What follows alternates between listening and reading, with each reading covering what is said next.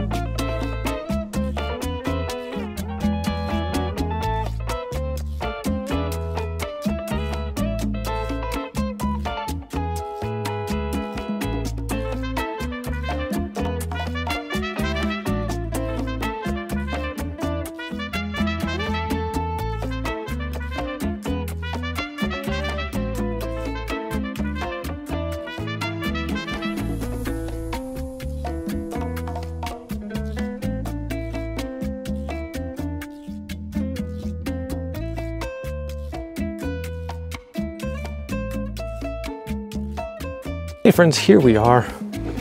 It's dark out as you can see and I've placed little uh, lights that it came with on the inside here. So I think it looks really cool. A nice little area to hang out at nighttime or whatever. Put it on the beach or in a park or anything like that. So have this outside zip down.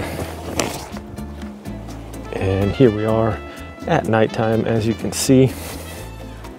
It does have this little um, light. I put it in the pocket out here. It's a little, should be motion activated there. A little light there on the front.